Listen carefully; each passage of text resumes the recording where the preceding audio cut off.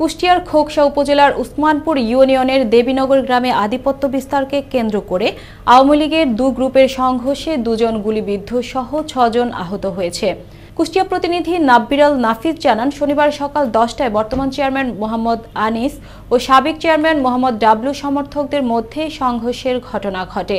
এই ঘটনায় গুলিবিদ্ধ গুরুতর আহত মোহাম্মদ শহীদকে কুষ্টিয়া জেনারেল হাসপাতাল ও শাহিদা খাতুনকে ফরিদপুর মেডিকেল হাসপাতালে ভর্তি করা হয়েছে।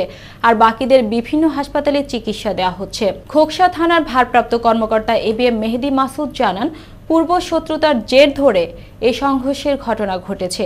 বর্তমানে পরিস্থিতি স্বাভাবিক আছে এবং নতুন করে সংঘর্ষ এড়াতে ওই এলাকায় অতিরিক্ত পুলিশ মোতায়েন করা হয়েছে।